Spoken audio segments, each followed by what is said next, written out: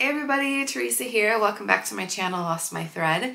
Last weekend I went to the Stitch Festival in London and picked up quite a few goodies and I want to show you what I got.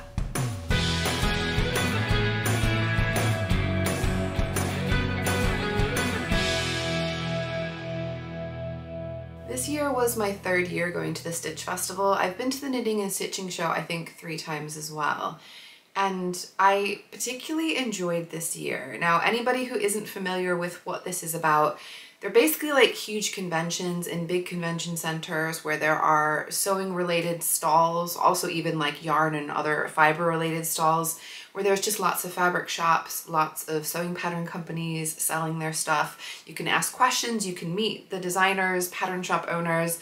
It's a really cool experience. It does get pretty crowded and I will say it can feel a bit chaotic and crazy.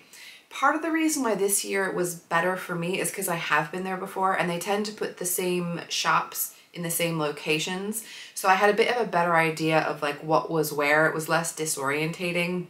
It was crowded though. I went on the Saturday, which was definitely, I think, the most crowded day, according to people who were working there as well. And the other thing that was really special about going on that day is I feel like there was some kind of unwritten agreement for lots of sewing YouTubers to go on that day. I didn't get any photos because I just don't, I don't take photos very much. Even on vacations, I don't take photos, so I wasn't gonna start taking them there. There were quite a few people who got some photos with me in there though, so you may have seen some on Instagram if you are following other sewing vloggers. But there were so many sewing vloggers there, some from London, some who came from outside of London, which was super cool. I met lots of people that are my friends online that I haven't met in real life before, which was such an amazing experience. But the main focus today, I'm not going to get into all that stuff. I want to focus on what I got because I don't usually get that much at these shows. I think I got like stuff for a coat at the Knitting and Stitching show and that was it. And this time around, I just, I kept finding things that was like, oh, I've never seen that before. I don't know where I'm going to get that otherwise. I just need to get it. And so I'm going to go through in order of how I picked them up because I feel like there's no other particular order that makes sense and show you what I got. The first thing I picked up was some fabric for my mom. So mom, if you are watching this, please switch off or skip ahead five minutes. This part of the video is not for you. I've been wanting to make my mom something for her birthday in the summer and I was thinking of making her a shirt, a button down shirt in my mind, I was thinking the Helen's Closet Gilbert top because I've made that before. I know it's a good pattern and I think she would like the general kind of shape and style of it. But as far as the fabric, I didn't have that much in particular in mind. I was thinking something that is going to be breathable in the summer because she lives in Chicago. She needs something that's going to be comfortable. But I also wanted something fun. So either like a textured cotton maybe or something with a fun print on it. I actually made her a t-shirt a couple of years ago with like a citrus print on it, oranges and lemons and limes, and she wears that all the time. And so when I saw this fabric, it seemed like the obvious choice. It is this really wonderful cotton double gauze fabric with this beautiful peachy print. So it's got these gorgeous vibrant peaches and the lovely flowers on there. I think this fabric is just so, so gorgeous. I got this from Pattern Emporium and I knew where I could get the perfect buttons to go along with it. I went up to the Ethel and Joan stall. So Ethel and Joan do really incredibly like vibrant and unique buttons. And the ones that I picked out are these. So as you can see, the green is absolutely perfect. It's almost like a kind of a two-tone. Well, it is. It's like a multi-tone green on there, which I think is so, so pretty. These, my husband actually said he thought these looked a bit like mangoes, which was not the idea, but I'll take it as a bonus. But I do just think these are gonna be so pretty and pop really nicely on that top. While I was at the Ethel and Joan's stall, I had a look and there were some other buttons that I also bought, no project in mind, but just because they were so cool. One are these. Now the color, I wanna show you like, yeah, that's probably they are so vibrant. They're all like neon. They're literally like a neon pinky orange color. They are so bright. They are so cool. No clue what I'm going to do with them, but they make me very happy. And then the other ones are these. I actually got two packs because if I want to make something with it, I might want more than three. These cloud buttons, so you can see their buttons. They're, again, like multi-tone. So there's like the pink and the white. They're almost like a kind of a sunsetty vibe to me. I think they're just so beautiful. Again, don't know what I'm gonna do with them. I'll find something to do with them. Very happy to take recommendations about what I can do with these, but they were just so cute, I had to get them. The next stall where I got some stuff was the Pigeon Wishes shop. And Pigeon Wishes have tons of beautiful buttons. I do often buy their buttons, but they also have really gorgeous fabrics. And I feel like it's not that easy to buy their fabrics. They're not necessarily in lots of shops. So I feel like going to their stall at this kind of show is the perfect opportunity to pick up some really unique things. And I saw a remnant of this. I'll call it a remnant. It's actually a two meter piece, but it was a pre-cut piece of this really beautiful orange sweater knit fabric. So they have called it a cotton viscose jersey, but it's definitely like a sweater knit kind of thing. It is woven into the design. So this is the back. You can see probably just about kind of hints of that orange at the back. I would say this is actually pretty weighty. Like it's, it's quite a heavy fabric. And I think this would make the cutest spring, well, spring, summer, whenever really, cardigan. It is definitely a bit sort of, you know, drapey because of that viscose. So you can see it's got really good movement. I feel like because of the weight of this, it's gonna be like wearing a cozy hug. It is super, super soft. I really like that the oranges, as much as I love the bright print on the fabric I got my mom, I love the muted tones of this one. I feel like this is probably more in line with my typical wardrobe. So I feel like it will go well with other things that I wear. And I am not quite sure which pattern I'm gonna go for. I was definitely thought about the Marlo cardigan because I've made that before and I know it works, but I'm kind of thinking about maybe I want a balloon sleeve. Not entirely sure, but I think a cardigan for sure. And because I wanted to do a cardigan, this is a jersey, but it doesn't have a ton of stretch. I didn't imagine it would, so uh, I'm just looking and checking. Yeah, there, there's a tiny bit of stretch, but I would want to use something different for like cuffs, and I decided to go ahead and pick up some ribbing. So I went back down to the Pattern Emporium stall because I knew that they had ribbing, and I picked this up. So this is just poppy ribbing. I got a couple of these just because I wasn't sure how much I was going to need. I think it's a good match with the green. I think that will go really well together. And the idea is this will go around sort of the neckline, possibly the bottom, depending on the pattern, and around cuffs as well. And I feel like I'm pretty much set. Like I, I can pick the specifics later, but I'm pretty confident that I'm gonna love that. The other fabric that I got from Pigeon Wishes was this really beautiful cotton jersey fabric. So I, I wanna show you basically the whole fabric because there's so much going across it, but I'll just hold it up so that you can see. This is a really beautiful print. So it's got these lovely plant background with like blues and pinks and reds and yellows, really pretty colors on there.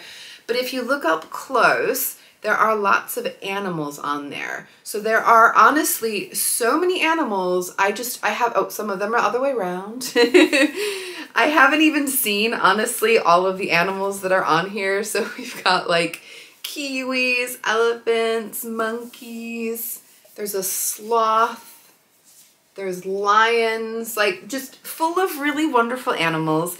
This again is really, really soft. I like that it's not a bright white background because I'm not really bright white, similar to like the cardigan fabric. I feel like that's more in my tones but it is a very lightweight cotton jersey. So it's got a good amount of stretch. It's a nice quality cotton jersey, but I was thinking for this one, because it's it's a little bit wild and crazy, my first thought was PJs. Pajamas in this would be super duper cute.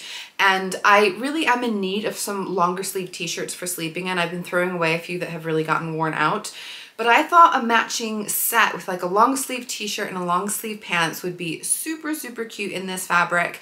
But depending on how much I can get out of it, because it's quite a wide fabric, I might even be able to sneak out maybe a t-shirt maybe some shorts. It would be really nice to have like mix and match pairing options.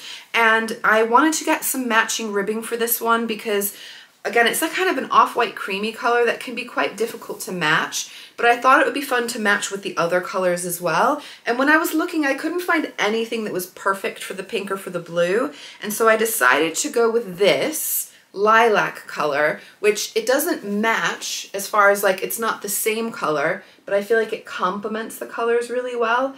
I also really like lilac, but I'm not a lilac person, like it's not a good color for me, but having it in just like the ribbing around cuffs, the neckline, the top of a waistband, that will be absolutely fine. So this is a circular ribbing I got. Oh, I can't remember the name of the stall. If I can figure out the name of the stall, I'll pop it up on the screen. But I just got a decent amount of that and I think that is gonna make the cutest pajama set, possibly multiple pajama set. We'll see what I can manage out of it. And I could not go to the Pigeon Wishes stall and not pick up some buttons. I picked up these brand new line of buttons from What Vicky Made. So Vicky from the Sewing Bee has designed some different buttons and fabrics I just want you to see, it's so difficult without showing you out of the packet, but the colors on there, the purple and the orange and the cream, like these are very much the kinds of colors that I wear all the time. So I didn't buy these with this specific project, but I am confident that I have fabrics sitting in my stash and fabrics that I will buy that will be a really good match for these. And because I got quite a lot from their stall, I got a free tote bag from Pigeon Wishes. I didn't know they did tote bags. I was possibly more excited about the tote bag than anything. Who doesn't love a good tote bag? But it has the Pigeon Wishes logo, which is so fun. I really do love Pigeon Wishes, their company, their ethos, the fabrics, the buttons, so it was fun to have my own little tote. And then the last stall that I got stuff from was the Fabric Godmother stall. I actually went there early on when I first came in, but it was so packed. I like literally couldn't get to any of the fabrics. So I was really glad that at the end of the day, like towards the end of the day after lunchtime, I went back and it was much less crowded. So I was able to have a good look around and I picked up two fabrics. The first is one that I have been eyeing for a long time. Since it came out, I've been considering whether or not to get this fabric. It's a Fabric Godmother designed fabric and it is so, so beautiful. It is this strawberry print viscose linen fabric I love a viscose linen, guys. You know I do. and again, this is a really nice cream, like an off-white background rather than bright white. I will say I was a little reluctant with the white or the creamy white background just because of possible spillage for this kind of thing. I am somebody who, like many of us, if I wear white, I feel like I usually end up wearing whatever I'm eating. I don't want to have something that's really beautiful that I spend time on that just gets destroyed. However, I feel like I've been eyeing this fabric for such a long time, it seemed like the time to get it. I was going around with a friend of mine who had a an exhibitor's wristband, which meant she got a discount, so I was able to get this a little cheaper, so it kind of seemed like the opportunity, if I'm completely honest. They did also have this in a pink background, which I was really excited to hear about, but when I saw it, it's not a good pink for me, so it wasn't really gonna work. And I decided I'm just gonna get it. I love viscose linen. It is such a pretty print. I feel like that will work really well on me. They actually had a sample of this made up into the Anna Allen Anthea blouse, which I've made a version of before, but I do want to really, really want to make another version. And I think I'm just going to go ahead and copy that. The version of the Anthea blouse that I made though, I scooped the neckline a little bit. So they have a tutorial on their website with like a downloadable piece. So you can scoop the neckline a bit more so it's not as high. I also did a version where I shortened the sleeves, but I think I'm gonna leave the sleeves as is, do the scoop neck with this fabric. I think it's gonna be really beautiful and I think I'm gonna love wearing this one in the spring and the summer. I'm just happy that I finally went for it and got the fabric. I feel like sometimes, you know, fabrics, they come into your mind or you see them and you're like, ooh, I really, really want that. And then, you know, you might forget about them a week or a month later and then probably you didn't really need that fabric. But this one, like literally every time I see it, I've been like, oh, oh, maybe I should get it. Maybe I should get it. If I've been thinking about it for that long, I'm just gonna get it. And I'm super excited to make that up. And the other fabric I got, I just saw on Instagram that they only literally just put up on their website, the Fabric Godmother. I didn't realize it was like an exclusive for the show and now it is released, other people can get it. It's a really gorgeous pre-quilted fabric. So if you are on Instagram and you follow Fabric Godmother, you've probably seen them talking about this. It's got this really beautiful side. I think this to me seems like the right side, but the wrong side is also really beautiful. So depending on your preference, you could totally choose to have that as the size that side that is showing. So it's got this really pretty, this to me is like a really wonderful, like a muted red color. It's a softer red. It's not really deep or bold but it's got like a bit of a more of a browny darker hue which is a really good color for me and it's got this fun plaid pattern going through it and again you kind of got that on the back as well so This I decided would be a perfect thing to make a vest with and that is actually what they had made as well, Fabric Godmother. I can't remember if they had a sample or if I've just seen Josie, the owner, wearing one, but this would be a really cute vest and I decided to try and find some matching fabric while I was there for binding. So I'm thinking of doing the everyday waistcoat from New Craft House because it doesn't have too many seam lines and I will do bias binding on the inside seam lines and then just bias binding going around the edge. I think it should be a super quick project. I think that pattern also has some ties going across the front, but I wouldn't bother with the ties. I would just have it open. And so I did go around and I picked up some ribbing. I found a pretty good match. I would have probably preferred a solid, but honestly, I think this is gonna be really nice. The colors go really well together. So this is gonna be my binding going around. I don't think I'll bother with pockets because I don't think I well, maybe I will. I don't know. I'm undecided about the pockets. But I do think this is going to be really fun and I think the colors are great for me. And again, I think this is a color and both of these colors really will go really well with other things that I already have. I know I've been really loving wearing the quilted vest that I already have, so why not have another? I'm seeing it as a very good sign that though I bought these things a few days ago, I'm still equally as excited about each of the things that I picked up. I feel like I reined myself in to the right degree that I just got things that I really, really love and that I'm very excited to sew up. If you went to the Stitch Festival, let me know how it was for you. Let me know what you picked up as well in the comments down below. I want to say a huge thank you to anybody who came up to me and said hi, whether you are a YouTuber or you're someone who watches my videos. It was so amazing to get to meet some people in real life and know who I'm talking to. It makes it a lot more real. I am excited about all these projects. Let me know if there are any fabrics that stood out to you or buttons that stood out to you that you cannot wait to see what I do with. Any suggestions, as always, are welcome down in the comments. Please do give me a like if you enjoyed the video. Make sure you are subscribed to my channel if you want to see these things made up or if you want to see other upcoming videos. And I will see you guys very soon. Bye!